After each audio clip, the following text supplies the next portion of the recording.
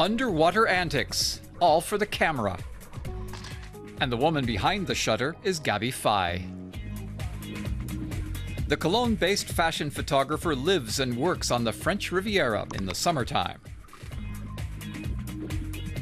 She shoots many of her pictures in her own pool.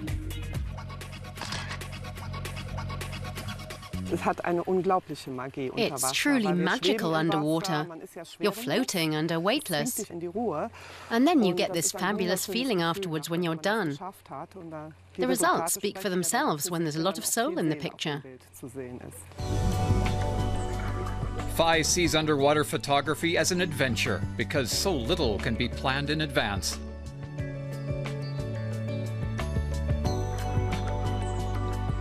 Completing a picture can take days, even months. Fey processes the photos on the computer and assembles collages of pictures.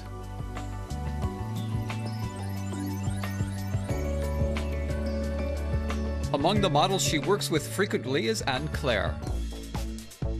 She dives underwater more than 20 times per day on a shoot and can hold her breath for up to a minute all the while still having to look good when submerged. It's difficult to relax with the makeup and what you're wearing. And then to stay underwater while she takes the pictures she needs.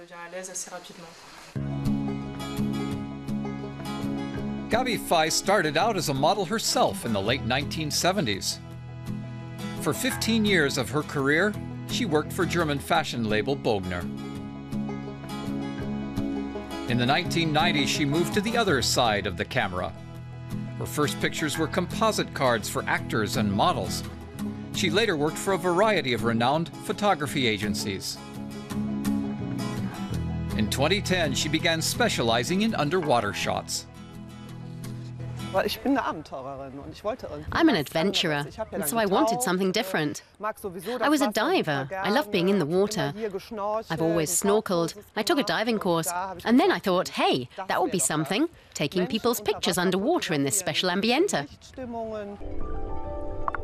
Her most important underwater project to date was La Cène, The Last Supper. It took her six months her picture is a reinterpretation of Leonardo da Vinci's work of the same name.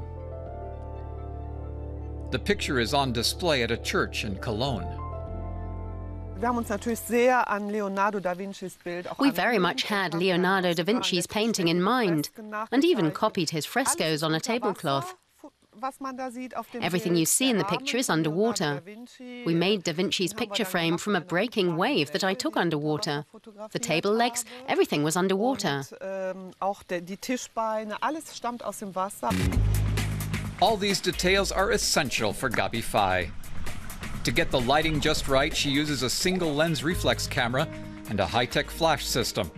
The setup is much like a conventional photo studio with one important difference. The equipment is, of course, waterproof. A dream of mine is the Maldives. I'd like to fly there with a team of my best models. We'd all be in a good mood. Taking beautiful pictures underwater with the fish and the clear water. I've worked there before, and I'd really like to go back.